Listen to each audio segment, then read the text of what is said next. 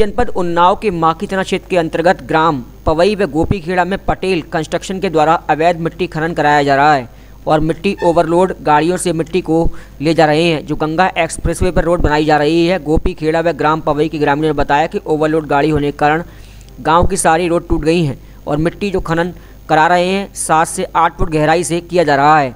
जब सदर एसडीएम देर रात छापेमारी की छापेमारी के दौरान वहाँ पर अवैध खनन पाया गया, क्योंकि वहाँ पर अवैध रूप से खनन हो रहा था। सात से आठ फुट तक मिट्टी गहराई से खोदी जा रही थी। वहीं आसपास के ग्रामीणों का कहना था कि अगर इतना गहरा खनन हो जाएगा तो कभी भी किसी वक्त कोई भी बड़ा हादसा हो सकता है।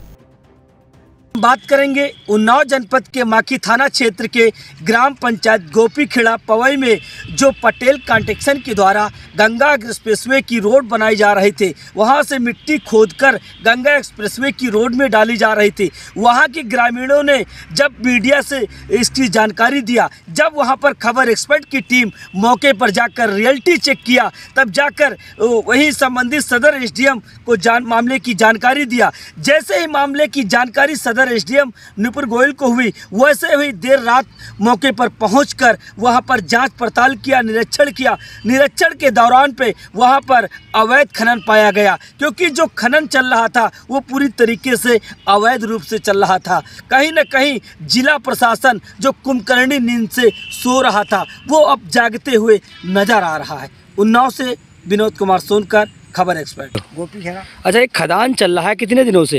ये एक हफ़्ता हो गया। अच्छा ये ओवरलोड मिट्टी ले जा रहे हैं क्या? रोड तो पूरी गाँव की टूट गई होगी इस तरीके से? टूट गई है पूरी टूटी पड़ी पू- पूरी? टूटी पड़ी ओवरलोड ले जा रहे हैं मिट्टी? से उठा रहे हैं हाँ। और जिस जहाँ से रोड से जहाँ तक ये ले जा रहे हैं वहाँ तक रोड टूट गई अच्छा पूरा ओवरलोड माल ले जा रहे हैं? ओवरलोड माल ले जा रहे हैं। मिट्टी? हाँ।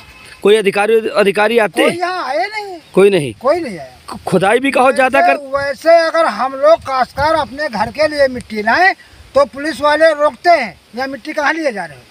कहो ट्रैक्टर वाला कहो उठा कर कहो थाने बंद कर दिया कर और दो चार सौ रुपया हला झुला लेंगे छोड़ देंगे। इनके लिए कोई नहीं आ रहा। है अच्छा ये इतनी रोड बेकार हो गई तो हादसे भी होती होंगी? हाथ से दो एक जब पानी डालते हैं तब दो एक आदमी ज़रूर मोटरसाइकिल में गिर जाते हैं। ज़रूर मोटरसाइकिल अभी अच्छा। कल एक गिरा था उसको दो सौ रुपया दिया तो ट्रीटमेंट करवा लिया तो यानी बस भी बता रहे लोग पलटते हुए बच्ची हाँ तो जब रफट इतनी है ये चिकनी मिट्टी है ये चिकनी मिट्टी है पानी डाल देंगे तो जानवर और आदमी सभी रखते हैं। अच्छा अच्छा। तो ये जो खदान जहाँ पर हो रहा है वहाँ पर मिट्टी भी का गहराई से ज़्यादा खोदते हो? छः फुट।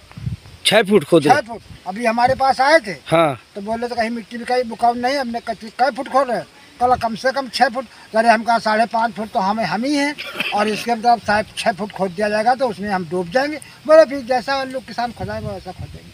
अच्छा यानी छः फुट खोद रहे यहाँ यहाँ आप खदान चले जाइए देखिए यहाँ खदान में कितना कै फुट जा रही गिट्टी मिट्टी? हाँ इधर है इधर है। इधर है जगह पर यहाँ। छः फुट का ढाई छः फुट साढ़े पाँच फुट तो कहीं गई नहीं है। अच्छा ये जो आपके गोपी खीरे में जो खदान चल रहा है। ये दिन रात डंपर चलते हैं? हाँ, रात में बंद हो जाते हैं। हाँ। रात में बंद हो जाते दिन में चलते। दिन में चल रहे हैं। तो रोड तो पूरी ध्वस्त हो ही गए है? यह इतनी रत्ते खराब है। टूट गया है पूरी रोड? ये इतनी खराब है वो नहीं खराब है। अच्छा तो ये वो लोड माल ले जाते हैं मिट्टी? हाँ हाँ। ये मिट्टी कहाँ ले जा रहे हैं? सड़क पर। अच्छा रोड पर। तो कई खंभे भी टूट गए हैं क्या? खंभा तो नहीं टूट रहा सड़क बन रही है हाईवी वाली वह है अच्छा। पर रही। तो ये खदान कितने दिन से चल रहा है यहाँ? अच्छा यहाँ एक हफ़्ता हो गया। अच्छा तो ये रोड तो पूरी टूट गई ध्वस्त हो गई है? आने जाने में समस्या होती होगी? बहुत समस्या हो जाएगी।